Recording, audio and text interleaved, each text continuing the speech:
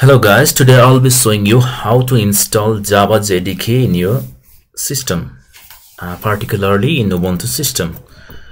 So first you need to open your favorite browser, I'm opening Chrome and search for Java JDK and search for Java JDK.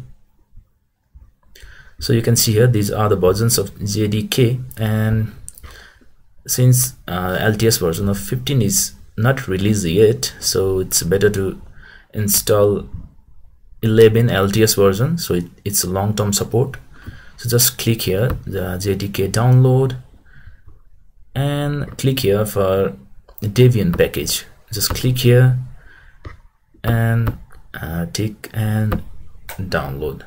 So if you do not have uh, this uh, Oracle account so it it will ask you to create one since I have already created so you can also create in a similar fashion. Just you need to uh, enter your name uh, country and email and you need one email verification.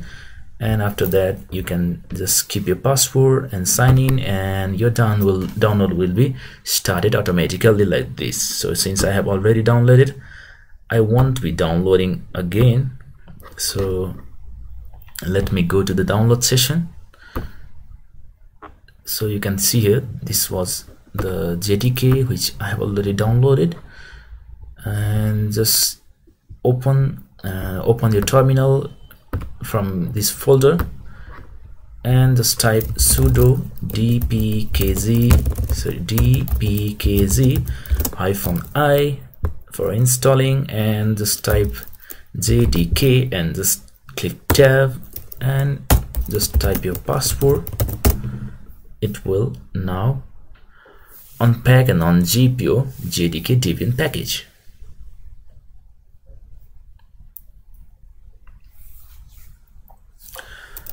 Now what you need to do is uh, just click uh, just uh, type the command. So I will be providing the commands in the description. Just type sudo update update and alternatives and type hyphen install slash user slash bin slash java. And again type java and slash user and lib and jvm and j so since this has been already uh, installed so if I click uh, tab it will directly open this JDK 11.0.9 so yeah so this would all already has been opened so slash bin and slash java and type 1 so click enter. Now you can just check the version of java. It will show now. So this is the java version we just have added. So now we need to also add java compiler. So for that just uh, type the same command and replace this java by java c. This java by java c for compiler. And here as well so now click enter and just check for the java c hyphen hyphen version. Now this should also work yeah. So this is working.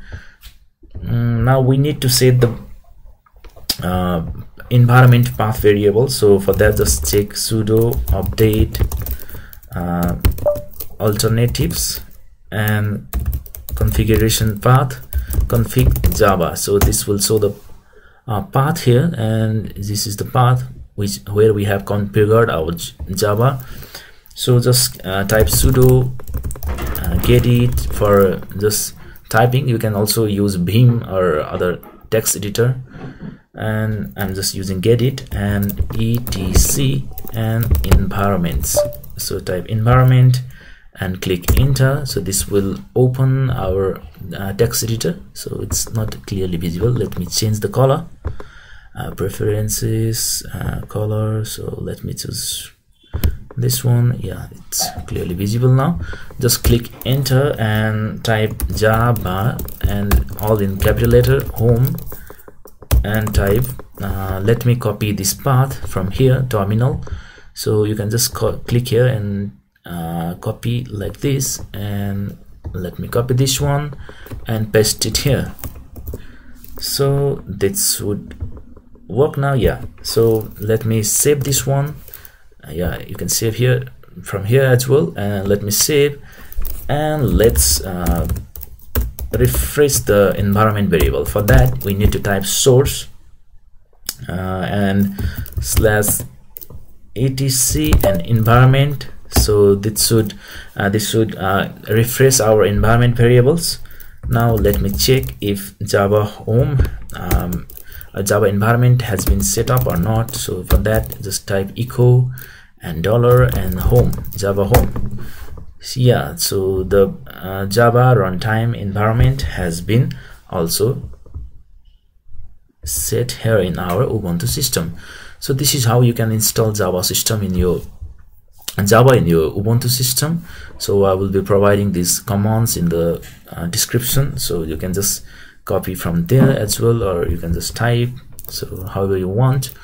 So thanks for watching. Thank you